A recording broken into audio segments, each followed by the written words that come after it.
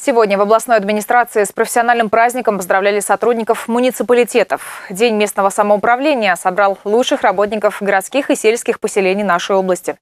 Это молодой праздник, который отмечается всего несколько лет. Чествует в этот апрельский день чиновников, представляющих органы местной власти. К ним в первую очередь обращаются со своими просьбами населения. Они ближе всего к людям. Губернатор области принял участие в награждении собравшихся. Трое получили звание «Почетный работник муниципальной службы». Другие были награждены почетными грамотами и благодарностями губернатора, облсовета и Ассоциации муниципальных образований нашего региона. Вадим Потомский добавил. Вчера в Совете Федерации было грандиозное мероприятие, проходило в стенах Софеда, где мы не так давно представили Орловскую область. Три региона было отмечено как положительный опыт. В состав трех регионов по работе в органах местного самоуправления вошла Орловская область. Это впервые.